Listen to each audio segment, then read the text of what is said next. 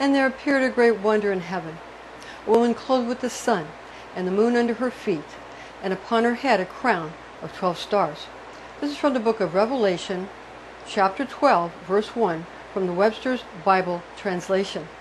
Welcome to our video on astrology chart revelations for Our Lady of Fatima 101st anniversary for three shepherd children's fifth apparition of Blessed Virgin Mary in Fatima, Portugal for September 13th, 2018, which originally occurred on the 13th of the month of September in 1917, where there were reported to be somewhere between 20,000 and 30,000 bystanders praying the rosary, although some reports indicate even more observers who were present to witness the atmospheric phenomena as were attributed to be equivalent to the earlier apparitions.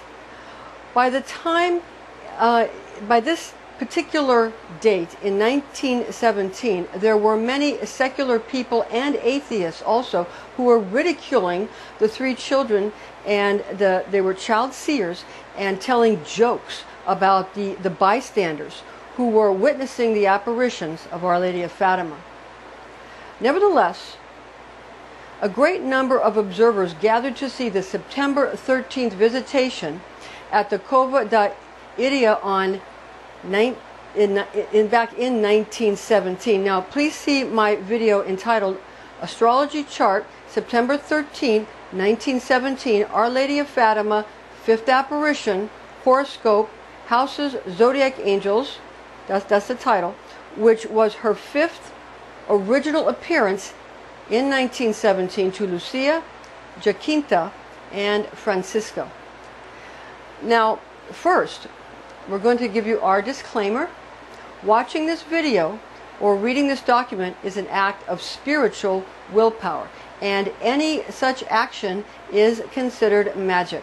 High magic should be used with all mindfulness since powerful forces of manifestation are unleashed. This is intended exclusively for entertainment purposes. All right, um, now before we get started, uh, I am Pastor Rosemary, the astrologer angel, and I am a Rosicrucian seer, a biblical astrologer, a Christian psychic, a Gnostic mystic, and this is a Readings by Rosemary angelic transmission. According to Catholic Catechism, the three children shepherdess uh, shepherds, there was uh, shepherdess Lucia Santos and shepherdess Jacinta Marto and her brother shepherd Francisco Marto were at the Cova da Iria, which was the selected location on the 13th of September in 1917, which was the appointed day where the Blessed Mother had instructed them to visit for Our Lady of Fatima's fifth visitation to these three children seers. The, the numerous bystanders reported that the atmosphere became suddenly and notably cooler with the, the sun dimming to the point that the evening stars could then be seen. A beautiful rain shower began, which was said to be similar to a light snow or soft glimmering petals that were visible until they touched the earth. On this occasion, the witnesses accounted seeing a luminous globe transiting gradually and regally through the sky from the direction of the, the east towards the west. As the apparition came to its finale, the shimmering orb then traveled in an opposing direction. The three shepherd children seers then stated that they witnessed a light which acted as a herald to the immediate appearance of Our Lady of Fatima above the familiar holm oak tree. Now, Lucia's writings about the communication between the three seers and Our Lady of Fatima is reported to have progressed thusly. Lucia requested of Our Lady of Fatima, quote, What do you want of me? unquote. Our Lady of Fatima instructed the three shepherd children seers, quote, continue to pray the rosary every day to obtain the end of the war.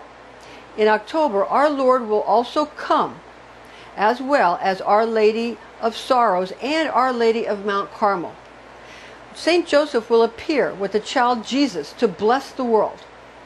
God is pleased with your sacrifices, but He does not want you to sleep with the ropes Wear them only during the day. See, uh, unquote. The, the, the children had been wearing cords around their waist as a sacrifice for sinners. Okay? Now, Lucia then asked Our Lady of Fatima, quote, They have requested me to ask you for many things. For the cure of some sick persons, of a little girl who is a deaf mute, unquote. Our Lady of Fatima uh, then replied, quote, Yes, she will improve within a year, unquote. Lucia supplicated again, quote, and about the conversions that some persons have requested and a cure for other sick ones, unquote. Our Lady responded, quote, I will cure some, others not. In October, I will perform a miracle for all to believe, unquote. After this, Our Lady of Fatima began rising up and then she disappeared in the same manner as she had previously, at which point Lucia said to the crowd of bystanders, quote, if you wish to see her, look, look, unquote. Again, these are the teachings of Catholic Catechism instructors. Now let's take a look at September 13th, 2018 astrology chart I've prepared for you to commemorate and reveal this miraculous 101st anniversary of the, the fifth apparition of, of Our Lady of Fatima, uh, which is located in Portugal. Astrology for major aspects of the seven ancient planets on September 13th, 2018 in Fatima, Portugal, BST commemorating 101, the 101st uh, anniversary of fifth apparition of Our Lady of Fatima are as follows. So we're going to give you the, again, the, the seven ancient planets we're going to focus on. And we're going to give you the major uh, planetary aspects. Okay? Now, on September 13, 2018, the Sun will be in Virgo at 20 degrees 36 minutes in 10th horoscope house of social standing and fame. Planetary Archangel Michael, Michael visits dwelling of zodiac angel Hamaliel. So the sun will be uh, in the sign here of Virgo, the Virgin. And also on that day, moon in Scorpio at 9 degrees, 27 minutes in 12th horoscope house of spirituality. Planetary Archangel Gabriel visits habitation of zodiac angel Barchiel. Moon in Scorpio here. Moon in Scorpio. Now, let me um, give you a bit of a close-up here so you can see better. We'll, we'll give you a closer view and we'll also give you um, we'll darken it a bit so you can see a little bit better. Okay, that should be able to, to see better now, okay? So again, we have Sun in Virgo, and we have Moon in Scorpio. Okay, that's September 13, 2018. Okay, now Mercury in Virgo at 13 degrees, 45 minutes in 10th horoscope house of social standing and fame. Planetary Archangel Raphael visits abode of zodiac angel Hamaliel. So Virgo, uh, we have the planet Mercury in the sign of Virgo, the Virgin. Now Mercury rules Virgo. Virgo is the nighttime habitation of the planet Mercury. Mercury is associated with the Archangel Raphael, and Virgo associated with the zodiac angel Hamaliel. Okay? Venus in Scorpio at 2 degrees 46 minutes in 12th horoscope house of spirituality planetary archangel Anael visits dwelling of zodiac angel Barchiel. We have Venus, the planet Venus here in the sign of Scorpio, the scorpion. Okay, now Mars in Aquarius at 0 degrees 29 minutes in third horoscope house of transportation and communication. Planetary seraphim Samael visits habitation of zodiac angel Cambriel. So Mars in Aquarius. We have the planet Mars here in the sign of Aquarius Aquarius, the water bearer. Now, although it's Aquarius, the water bearer, that is fixed air sign, okay? But it's called Aquarius, the water bearer. We have Jupiter in Scorpio at 19 degrees, and that's one minute in first horoscope house of self and appearances. Planetary Archangel Sachiel visits abode of zodiac angel Barchiel. We have Jupiter, planet Jupiter in the sign of Scorpio, the scorpion. All right. The Saturn, uh, planet Saturn in Capricorn, and Saturn does rule Capricorn. Very important. Saturn, uh, Saturn's nighttime abode is Capricorn. Okay, so uh, Saturn in Capricorn at two degrees, 34 minutes, in second horoscope house of money and possessions. Planetary archangel Cassiel visits abode as zodiac angel Hanael. So we have Saturn in Capricorn, the planet Saturn in the sign of Capricorn, the goat. All right? Okay, now, regarding significant aspects of these seven ancient planets on September 13, 2018, these are the seven ancient planets and the significant aspects. Uh, some people may want to do some of the smaller aspects and some of the more uh, out, outer uh, planets, but we're sticking just for sanity's sake to the major planets, seven ancient planets, and the major aspects. Now, Sun conjunct Mercury. So we have the Sun uh, con conjunct Mercury here in Virgo. Okay, we have Sun sextile Jupiter. The Sun in this green line here sextile Jupiter. We have Moon sextile Mercury. So we have the Moon uh, here, sextile Mercury there on that green line. We have Moon conjunct Venus. We have the Moon here conjunct the planet Venus, Scorpio.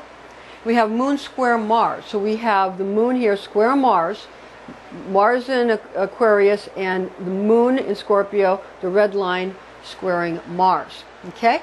Then we have Mercury conjunct the Sun. Mercury conjunct the Sun in Virgo. We have Mercury sextile the Moon.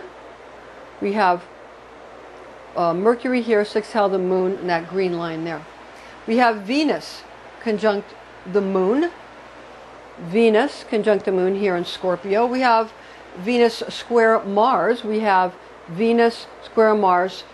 Venus in Scorpio square Mars in Aquarius on the red line.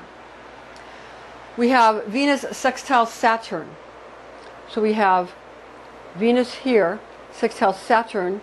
Here, the green line, we have Venus in Scorpio, sextile Saturn in Capricorn. All right? And we have Mars square Pluto. Mars, uh, I'm, I'm sorry, I'm sorry. Mars square the moon. I'm sorry, excuse me. Mars square the moon.